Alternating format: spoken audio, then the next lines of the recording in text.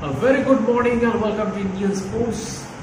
Game On, the home of Indian football আজকে কিন্তু গুরুত্বপূর্ণ ইন্ডিয়ান ফুটবলের আপডেটস নিয়ে চলে এসেছে আজকের ভিডিওটা কিন্তু ইন্টারেস্টিং হতে হচ্ছে কারণ ইস্ট বেঙ্গল মোহন বাগানের কিছু কিছু গুরুত্বপূর্ণ আপডেটস আছে তো সেগুলো কিন্তু তোমার সাথে শেয়ার করব ভিডিওটা শুরু করার আগে যেটা প্রত্যেক দিন বলে থাকি যারা আমার চ্যানেলে নতুন হচ্ছে প্লিজ চ্যানেলটা সাবস্ক্রাইব করে দেবেন কিন্তু অনেক আপডেটস পাবেন তাছাড়া কিন্তু সামনে Calcutta football league to club official ব্লগসও পাবে।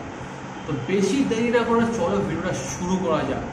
তো প্রথমেই যেটা দিয়ে শুরু করব সেটা কিন্তু মোহন বাগানের আপডেট তো জেসন কামিংস জেসন কামিংস কিন্তু আমরা অনেকেই জানি বা সবাই জানি যে জেসন কামিংস কিন্তু মোহন বাগানে জয়েন করতে চলেছে। তবে কিন্তু তিনি one plus one year deal join করতে চলেছে মিনস এক বছর তার খেলা দেখে সিদ্ধান্ত নেওয়া হবে তাকে আগামী আর এক বছর ডিল ডান করা যাবে বা কন্ট্রাক্ট এক্সটেন্ড করবে কিনা ম্যানেজমেন্ট এটা কিন্তু একটা ইম্পর্টেন্ট আপডেটস সুতরাং কিন্তু জেসন কামিংসের খেলা আমরা অনেকেই জানি, কিন্তু সেন্ট্রাল কোস্ট মেরিনার্স কিন্তু চ্যাম্পিয়ন হয়ে গেছে। এখন শুধু অ্যানাউন্সমেন্ট আর সাইনিংয়ের ডেটটাই শুধু বাকি। এবার একটু চলে আসি, এর থেকেও বেশি ইম্পর্টেন্ট এটাই হবে। মোহনবাগান ভার্সেস মুম্বাই সিটি এফসির কম্পিটিটিভ ম্যাচ এটা কিন্তু কোনো ফুটবল ম্যাচ না। ফুটবল ম্যাচই ধরতে পারো তোমরা। কারণ এটা কিন্তু প্লেয়ার ট্রান্সফার নিয়ে কিন্তু আপডেটটা থাকছে। তো যেমনি আমি তোমাদেরকে অনেক দিন আগে বা রেগুলার আপডেটস তোমরা শুনতে পাবো সেটা কিন্তু আকাশ মিশ্রাদের আকাশ মিশ্রা কিন্তু একটা হট টপিক মার্কেটে হয়ে উঠেছে। কারণ আকাশ মিশ্রের মতো লেফট ব্যাকে কিন্তু প্রথমে মোহনবাগান টার্গেট করেছিল বাট সেই কম্পিটিশনে কিন্তু মুম্বাই সিটি এফসি জয়েন করে। সেই জয়েন করার পরে কিন্তু একটা ফিফটি ফিফটি কম্পিটিশন থাকে দুটো টিমের মধ্যে কে আকাশ মিশ্রাকে সাইন করাতে পারে। তো এখন যা শোনা যাচ্ছে মার্কাসের টুইট দিয়ে যে আকাশ মিশ্রা কিন্তু সাইন করার জন্য মুম্বাই সিটি এফসি লিড নিয়ে রয়েছে। আর অন্যদিকে কিন্তু মোহনবাগান ম্যানেজমেন্ট কিছুটা হলেও সরে এসছে আকাশ মিশ্রাকে সাইন করানোর তরফে। কারণ তারা জানে যে তাদের টিমে কিন্তু অলরেডি একটা লেফট ব্যাক সুভাশিস বোস রয়েছে।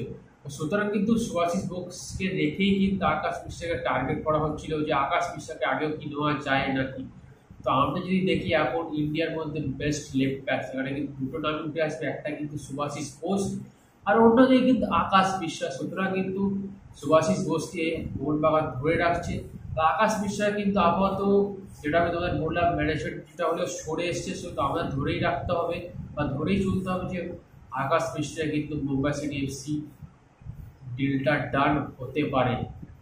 তো এবার একটু চলে আসি আর একটা ট্রান্সফার আপডেট নিয়ে, যেখানে কিন্তু আবার সেই মোহন বাগান আর মুম্বাই সিটি এফসির একটা দুই টাকাটারি লড়াই বা পরিবেশ দাঁড়িয়ে সেটা কিন্তু আনিরুদ্ধ থাপা তো আনিরুদ্ধ থাপাকে যেমন ভোট মোহনবাগান টার্গেট করেছিল, সেটি কিন্তু মুম্বাই সিটি এফসি সেই কম্পিটিশনে যোগ দেয়। তো তার ফলে কিন্তু একটা ফিফটি ফিফটি কম্পিটিশন হয় দুটো টিমের মধ্যে যে আনিরুদ্ধ থাপাকে কে নেবে? তো এখন যা শুনে যাচ্ছে আনিরুদ্ধ থাপা কিন্তু নিজে মুম্বাই সিটি এফসির দিকে পা বাড়িয়ে রয়েছে আর একটা বড় বিষয় হলো যে চেন্নাইয়ান এফসি তাকে ছাড়ে কিনা। যদি চেন্নাইয়ান এফসি এই বছর আনিরুদ্ধ থাপাকে ছাড়ে তারা কিন্তু একটা হিউজ ট্রান্সফার ফিতে ছাড়বে।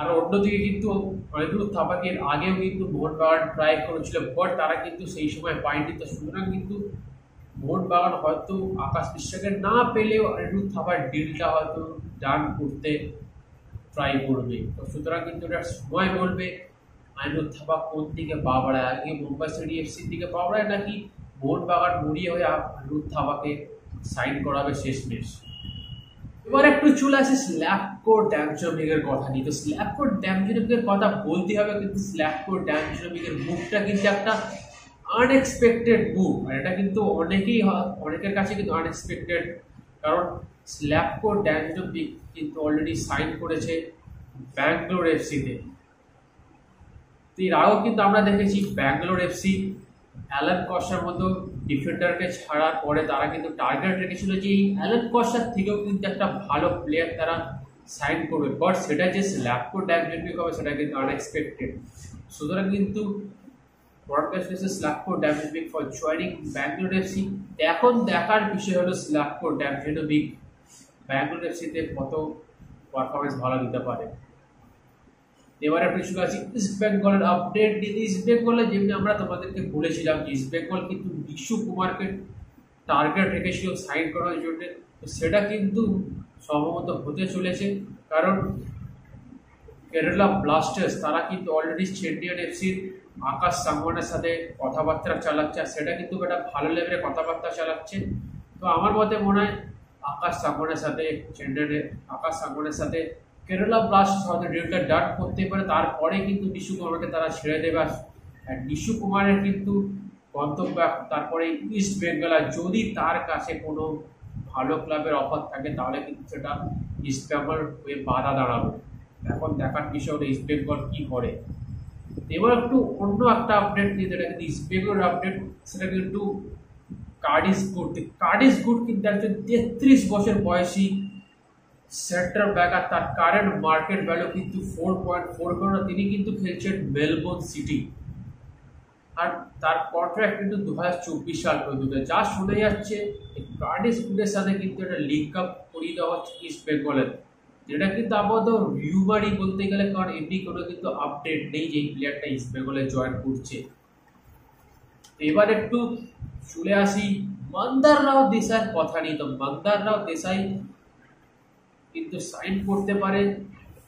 ইস্ট বেঙ্গলে যা কিন্তু শুনে যাচ্ছে শুধু কিন্তু অফিসিয়ালি অ্যানাউন্সমেন্টটাই বাকি। কারণ আমরা কিন্তু ইস্ট বেঙ্গলের প্লেয়ার তারা সাইন করছে, তেমনি কিন্তু কোনো আপডেটস জানতে পারছি না। কারণ ইস্ট বেঙ্গল কিন্তু সিক্রেট বুক বা সিক্রেট সাইনিং করছে আর তারা কিন্তু এগুলো অফিসিয়ালি হয়তো পরে জানাবে মিডিয়াকে আমরা কিন্তু মানুষজন বা ফ্যান্সরা জানতে পারব। আর অন্যদিকে কিন্তু ডেভিড টিমোর ডেভিড টিমোর কিন্তু একজন তেত্রিশ বছর বয়সের ডিফেন্সিভ মিডফিল্ডার তিনি কিন্তু সেন্ট্রাল মিডফিল্ডও খেলতে পারেন। আর তিনি কিন্তু কারেন্টলি লা লিগা ক্লাবের হয়ে খেলছেন। আর তার কন্ট্রাক্ট কিন্তু সেই ক্লাবের সাথে দু হাজার চব্বিশ সাল পর্যন্ত। তার মার্কেট ভ্যালু কিন্তু পাঁচ কোটি টাকা। এখন যা শোনা যাচ্ছে, তাকে কিন্তু লিঙ্ক আপ করানো হচ্ছে এফসি গোয়ার সাথে। আর এফসি গোয়া যদি তাকে সাইন করে, তাকে কিন্তু একটা ট্রান্সফার ফিতেই সাইন করাতে হবে। যেটা কিন্তু অফিসিয়ালি এখনও অ্যানাউন্সমেন্ট বা এটা কিন্তু রিউমার হিসাবেই ধরতে হবে। তো আজকে কিন্তু ভিডিওটা এতটাই ছিল। তো till then goodbye have a nice day R enjoy the beautiful game football